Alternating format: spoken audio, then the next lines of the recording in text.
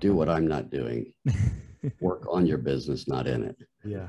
Right now, I'm spending way too much time working Mhm. in my business because of all the staff transition. The other thing I would say is focus on being family entertainment. Be sure your environment is very family friendly and entertaining for all of them, from the two year olds all the way up to the 90 year olds. Oh, by the way, we have, yeah, one more thing I'll add. I, in fact, it was uh, QubicaAMF regional manager came in to meet me in our business and he was new to our region.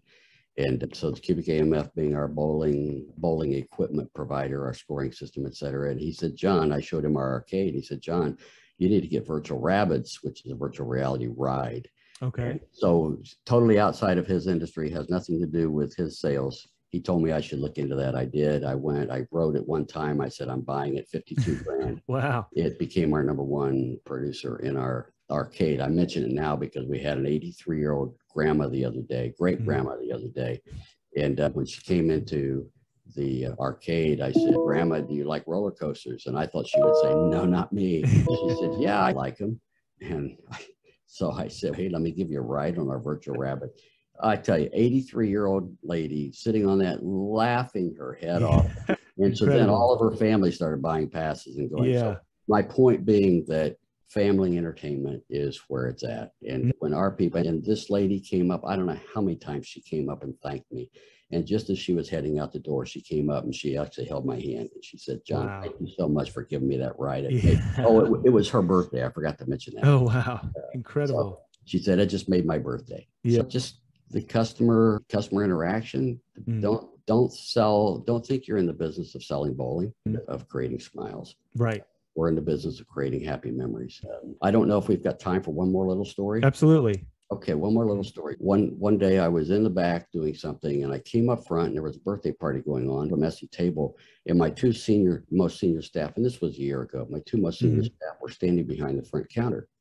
And I was just puzzled. I see look over there, I see a birthday party and I see a little mess on the table and I look up at them and they're standing behind the counter. Now I don't say this to disparage them. I say this to mm-hmm. I, I had egg on my own face for this. And I thought, what's going on here? And I said to them, we've got a birthday party over here. And they look at me like, yeah, we sold that party. And it, it dawned on me.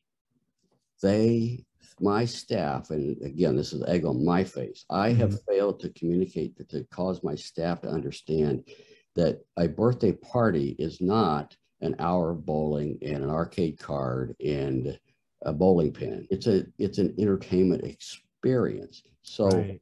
you're you know to them they had sold a package they Mhm. gave them an hour bowling they gave them their arcade cards they were done Yeah. instead of realizing that no we're here to make a lasting memory and so Right. egg on my face and that would be my message to other Mhm. proprietors is to make sure your you and your staff understand that you're not selling the product of bowling or food or arcade card Yeah. selling the experience and that requires interaction taking care of them and then the feedback is just tremendous Yeah. I really like that. So yeah, not just selling a product or bowling, like you said, but really just providing an experience and smiles and memories. yes Yeah. absolutely That's awesome. No, I love that. I think that's a great way to finish out. Hey, did you like this video? Great. We make five of them a week.